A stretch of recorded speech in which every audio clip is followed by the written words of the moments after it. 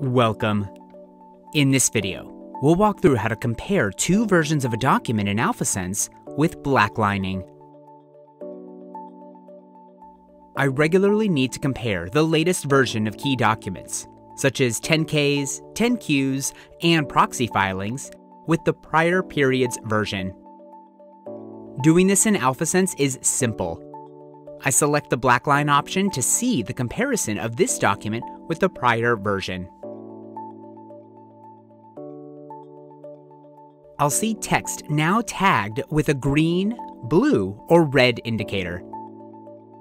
Green indicates an addition, blue indicates a change, red indicates a deletion.